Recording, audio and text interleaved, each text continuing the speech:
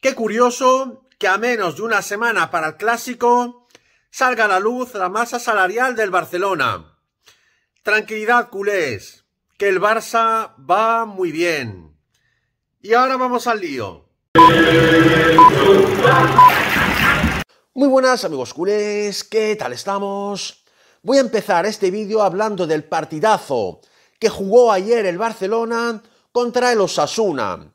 Hemos visto un Barça con intensidad, que aprieta y sobre todo que presiona tras pérdida de balón. Si jugamos de esta manera, no solamente vamos a ganar en Estambul al Galatasaray, sino también en el Santiago Bernabéu.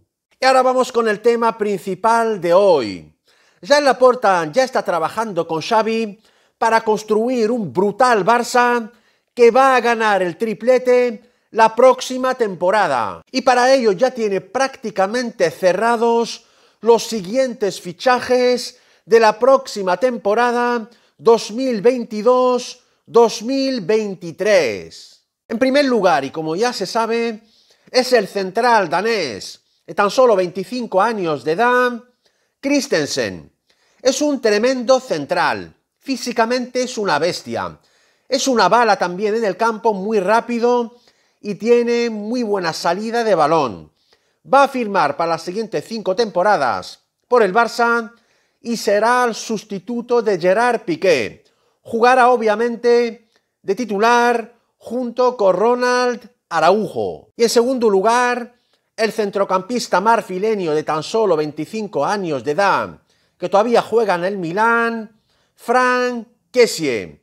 Como ya se sabe, Kessie es un centrocampista eh, brutal físicamente, es una bestia y va a ser el sustituto de Busquets. También vendría gratis como Christensen. En tercer lugar, el lateral marroquí del Ajax de 24 años de edad, Mazraoui. Es una bala también y puede jugar de carrilero. Vendría también totalmente gratis porque se le acaba contrato y no quiere renovar va a ser el sustituto, obviamente, de Dani Alves. Y por último, el fichaje del crack noruego Erling Haaland. Madridistas, os habéis tragado hasta el fondo la jugada al despiste de Jean Laporta.